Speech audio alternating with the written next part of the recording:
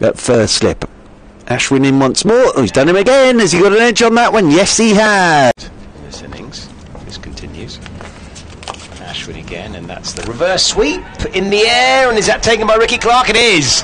And he goes.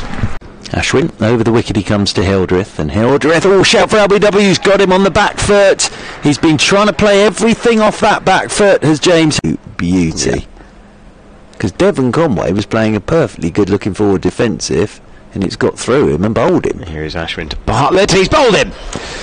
Bowled him, looking to leave alone. Takes the off stump. Ashwin get his, gets his fourth.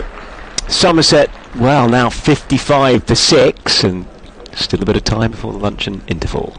well this this is what I was saying I- i- if and Ashwin again, van der Merwe, who's across his stumps, looking to work away on the onside, and he's gone. He's got an inside edge onto his thigh pad.